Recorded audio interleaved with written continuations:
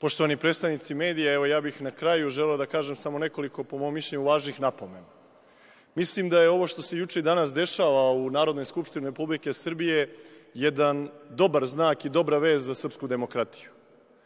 Po prvi put ujedinjeno, svi poslanici opozicije nastupaju na ovom skupštinskom zasedanju želeći da ukažu na neverovatne fantomske lažne amandmane vladajuće većine koji onemogućavaju raspravu o 60 važnih zakona, a pre svega Predlogu zakona o budžetu za sledeću godinu. Ovde, kao što vidite, stojimo nas sedam šefova poslaničkih grupa ili zamenika šefova poslaničkih grupa opozicije, što znači da je kompletna opozicija ovde, ne računajući one, naravno, koji su deo vlasti, mislim na Vojislava Šešelja, Nenada Čanka i Čedomira Jovanovića. Dakle, svih sedam ostalih poslaničkih grupa opozicije u ovom trenutku zajednički nastupa. I to što smo mi ustali u skupštinskim klupama upravo simboliše to da smo ustali protiv ove bahate vlasti, protiv ovog nasilja u parlamentu, protiv nasilja koje se preliva na ulice i koji na kraju završava pokušajem ubistva jednog opozicionog lidera Borka Stefanovića.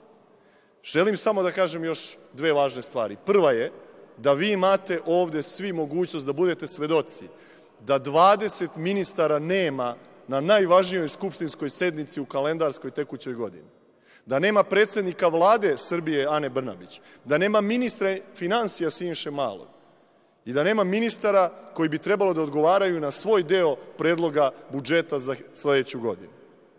I sve ovo o čemu govore predstavnici vlasti, verujte, sve su to fake news.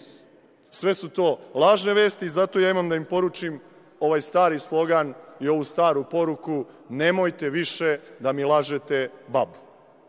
Nemojte više da pričate prazne priče, opljačkali ste ovaj narod, oduzeli ste od plata i penzija, povećali ste poreze, takse, akcize, povećali ste porez na imovinu, povećali ste cenu goriva i zato ovde danas simbolični nosim ovaj prsluk da bih ukazao na pljačku građana Srbije putem cene goriva i kako je francuski predsednik prekinuo svoju planiranu posetu za Srbiju da bi bio i pregovarao sa žutim prslucima u Parizu, onima koji su spalili pola Pariza. A ovde naša vlada neće da dođe u Narodnu skupštinu i da razgovara sa poslanicima, a kamoli sa građanima koji su protestovali protiv ove nenormalne cene goriva.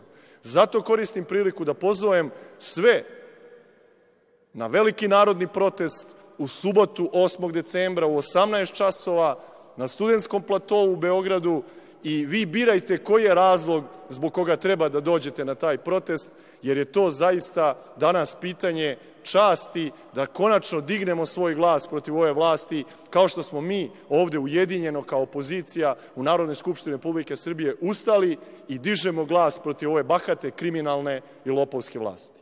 Izvolite, izvolite ako ima vaših pitanja za bilo koga od nas. Ako ne, imate fotografiju.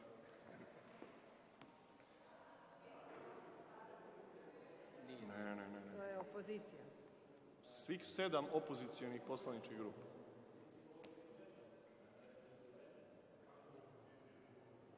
Od toga su četiri u Savjezu Srbiju, tri nisu.